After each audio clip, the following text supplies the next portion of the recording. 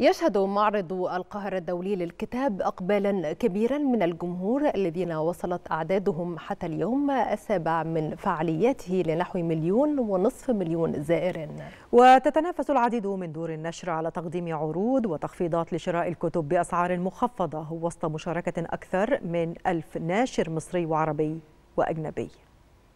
لأنه مقصد لعشاق القراءة من مختلف دول العالم يشهد معرض القاهرة الدولي للكتاب إقبالا كبيرا من الجمهور الذين تنوعت أهدافهم ما بين شراء الكتب وحضور الفعاليات الثقافية والفنية المقامة على هامش المعرض ووصلت أعداد المعرض حتى اليوم السابع من فعالياته لنحو مليون ونصف مليون زائر. بنتي بتحب القراية جدا وهي موجودة معايا وهي اللي بتجيبني مخصوص.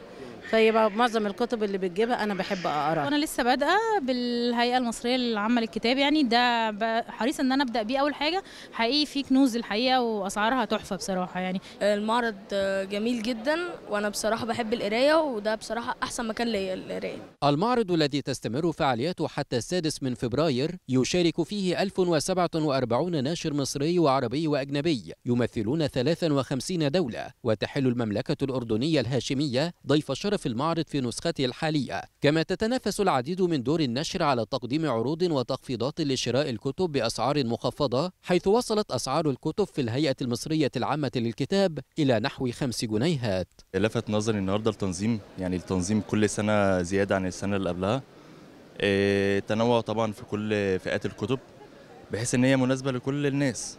الوجبات الثقافية التي يقدمها الناشرون في معرض القاهرة الدولي للكتاب جعلت منه مقصدا للمثقفين من مختلف أنحاء العالم خاصة وأنه يحتضن كل الثقافات حيث يعد أحد أكبر التجمعات الفعلية للناشرين على مستوى العالم. أحمد الحسيني التلفزيون المصري.